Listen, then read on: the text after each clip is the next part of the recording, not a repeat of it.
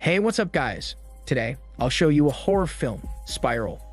Spoiler ahead, watch out and take care. The movie begins at a festival where Bozwick is chasing a thief. The thief runs towards a dark tunnel. In response, Bozwick goes to the tunnel to chase the thief. Inside the tunnel, he walks slowly as he sees a sitting man. As he pulls it, it turns out that it is only a mannequin.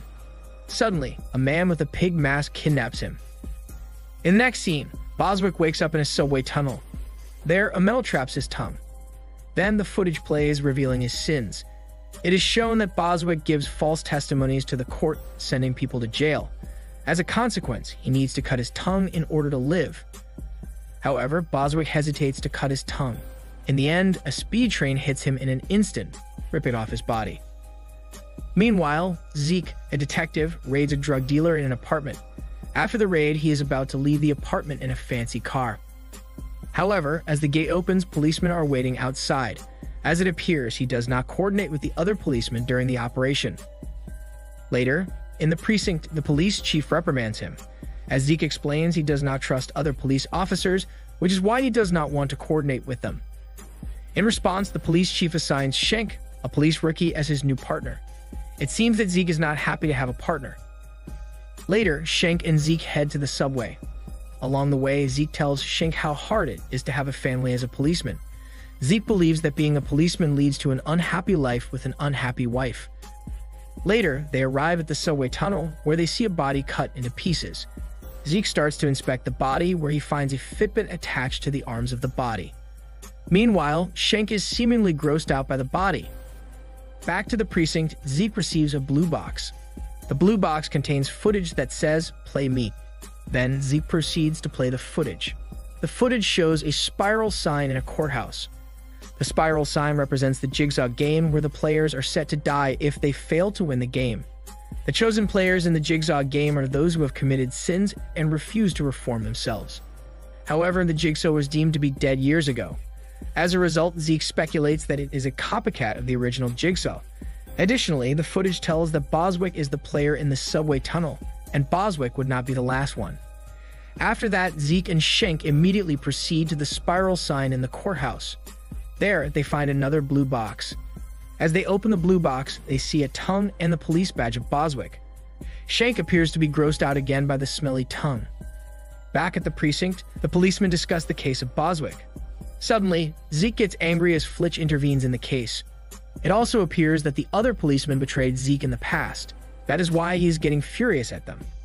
There, he insists that he should handle the case since he is the friend of Bozwick. After that, Zeke storms out of the meeting.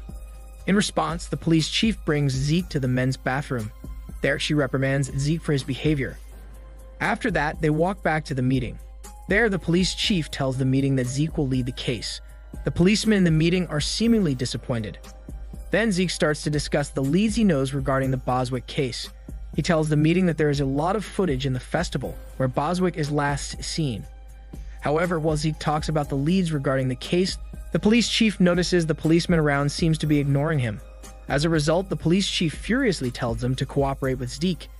In the end, she convinces everyone in the meeting to cooperate with him. In the next scene, Zeke is having a meeting with the policeman. In the meeting, they are studying the case of Boz. It seems that Zeke speculates that the Bozwick case relates to the Jigsaw case. Meanwhile, Shank borrows Zeke's phone and walks out of the meeting. Then, a police officer with a coffee arrives at the meeting. There, the police officer discusses the footage cams in the festival where Bozwick is last seen. Meanwhile, Flitch is checking the footage cams in the festival area. Then he recognizes the thief being chased by Bozwick at the festival. He refuses to inform Zeke regarding the info. However, he decides to take the case into his own hands. Later, Flitch goes towards a dark warehouse to find the thief. Then he proceeds to inspect the dark warehouse using a flashlight. Inside, he sees a man with a blanket. He thinks that it is the thief. However, as he removes the blanket, it reveals a creepy pig mask. The pig mask terrifies him, making him pull out his gun. Instantly, someone kidnaps him using a white cloth. A while later, he wakes up with a torture machine locking him up. Right then, the torture machine activates. The torture machine is pulling his fingers, making him shout for help. In a few moments, the torture machine stops. He tries hard to escape the torture machine. The scene ends where the pigman creepily informs him that it wants to play a game. Meanwhile, Zeke is in his apartment. A delivery guy delivers food from his father. Inside the apartment, Zeke has a flashback of his father getting angry. It turns out that, in the past, Zeke turned in a fellow police officer that committed a crime.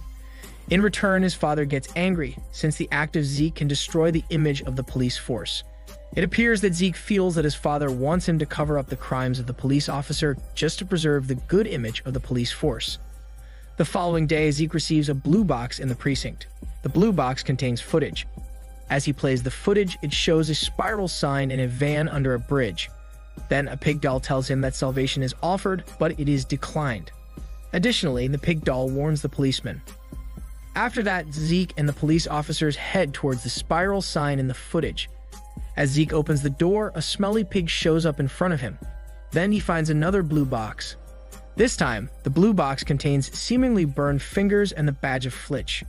As Zeke holds the badge, the scene flashes back towards a criminal chase. In the past, Zeke tried to call Flitch for backup as he fought a criminal. However, Flitch refused to back up Zeke. In the end, Zeke got shot by the criminal. Later, Zeke and the police officers arrive at the warehouse. There, they find Flitch's dead body. Then the scene flashes back before Flitch's death. In the flashback, a footage plays revealing the crimes of Flitch while he is tied up in a torture machine. It appears that in the past, Flitch murdered a man who simply insulted him. In the footage, his fingers pull the trigger. In return, he needs to cut his fingers off by activating the machine in order to survive. Otherwise, the water will electrocute him if he fails to do it in time. In response, Flitch activates the machine, making it pull his fingers slowly. He is grunting due to the unbearable pain. In a few moments, the machine successfully pulls his fingers off, making it look like fresh sausages. However, the water reaches the electric wire, making it electrocute him. In the end, the electric water roasts him like a chicken. After that, the scene flashes back to reality where Zeke looks at the roasted corpse of Flitch. There, the policemen are speculating who is the culprit behind Flitch's death. The other police officer seems to be blaming Zeke for it, since Zeke and Flitch seem to have a bitter past. Meanwhile, Zeke decides to find the thief, thinking that it has something to do with Flitch's death. Afterward, Zeke and Shank go to a drug dealer who appears to know the thief. However, the drug dealer tries to fight them in a gunfight. Successfully, they catch the drug dealer off guard, breaking its leg. In the end, as the drug dealer screams in pain, it reveals to them that the thief is already dead. In the next scene, Zeke receives another blue box. This time, the police officers think it is a bomb, in response, Zeke tells the other police officers to go outside. Then Zeke opens the blue box. It reveals a pig jigsaw puppet and Shank's skin. This makes Zeke think that Shank is dead. He is angry deep inside that the young Shank dies, leaving a family behind. Additionally, he finds a bottle that says Constantine in the blue box. This makes him remember the photo with his father behind the Constantine shop. After that, Zeke heads towards the Constantine shop. Inside the shop, Zeke is astonished to find a skinned body who appears to be Shank. As Zeke looks at the skinned body, a scene of how the skin is removed from the body plays in his mind. The scene seemingly horrifies Zeke greatly. Meanwhile, the police chief goes inside the filing office alone. As she walks inside, a pig mask surprises her. Suddenly, the door locks as she tries to run away from the room. Then, a tear gas starts to pop off, putting her to sleep. After that, she wakes up tied up and unable to move. She plays a recording that tells her the rules of the game and her sins. It appears that the police chief covers up the crimes done by the police officers. In return, hot wax will drop to her face, slowly covering it. In order to stop it, she needs to injure her spinal cord using a blade behind her. In a few moments, a hot wax starts falling on her face. The wax is so hot that it burns her face, making her scream in pain. Meanwhile, she tries hard to cut her spinal cord with the blade. However, in the end, she dies painfully through the hot wax that burns her. At the same time, Zeke rushes towards the location of the police chief, realizing that she is the next target. However, on his arrival at the room, the police chief is already dead. He tries to remove the wax from her face. The wax reveals the cooked face of the police chief. Then he tries hard to save her, but it is already too late. After that, he proceeds to check the footage before the police chief's death. However, the footage has already been deleted by someone, in response, he checks the people who have accessed the footage. It appears that his old partner Pete and his father accessed the footage. Pete has been out of the police force since he shot a witness in the past. Immediately, Zeke thinks that Pete is behind the killings of the police officers. Meanwhile, the other police officer thinks that Zeke's father may have something to do with it. It seems that the police officers do not have trust in each other. As a result, the pursuit to find the killer becomes more difficult. At this moment, the rotten police system haunts back the police officers. Later, Zeke goes towards the church to find Pete. He cannot find Pete in the church. Also, he calls his father in anger.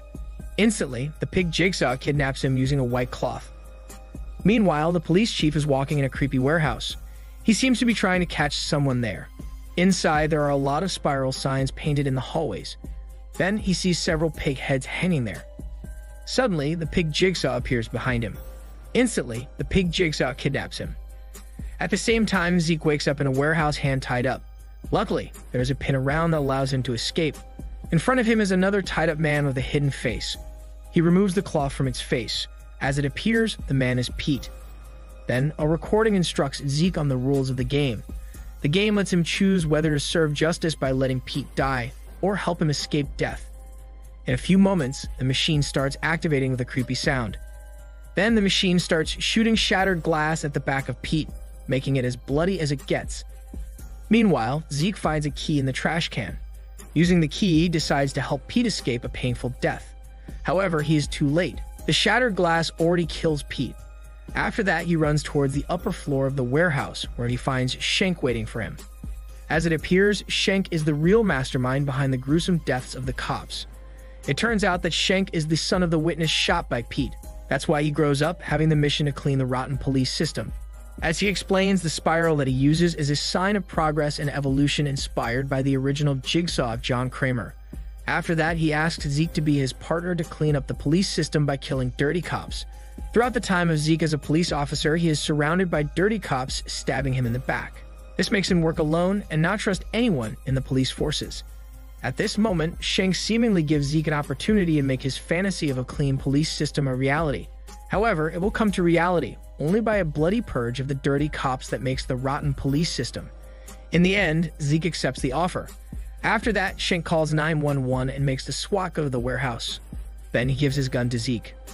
Shortly after, Shank guides Zeke towards his father at the other part of the warehouse. There, Zeke's father is hanging while blood is dripping from him after seeing that Zeke angrily wants to shoot Shank. However, Shank reveals to him that the gun only has one bullet. He gives Zeke the choice of whether to shoot Shank or shoot the spiral sign to save his father.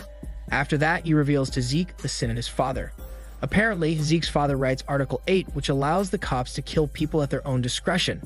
In response, Zeke's father defends his action. For him, Article 8 is completely justified. The killings resulted in a lower crime rate in the streets. At that moment, Zeke needs to choose quickly, since his father is slowly dying. In the end, he shoots the spiral sign. As a result, Zeke's father falls to the floor and the blood stops dripping. Then, Zeke chases Shank into the elevator. There, he beats up Shank in anger. Meanwhile, the SWAT arrives at the scene. As the SWAT opens up the door through a cutting machine, they accidentally cut a wire that activates a machine. Then the machine, through strings, starts pulling up Zeke's father like a puppet. As the SWAT enters inside, they point a gun at Zeke's father and instruct him to put down the weapon. Suddenly, the strings control Zeke's father, making it appear that he is about to shoot the SWAT.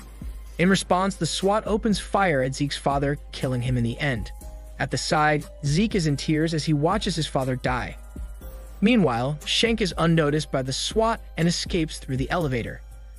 In the end, Shank hushes at Zeke in his grand exit. This is Daniel CC Movie Channel. Stay safe and enjoy your day.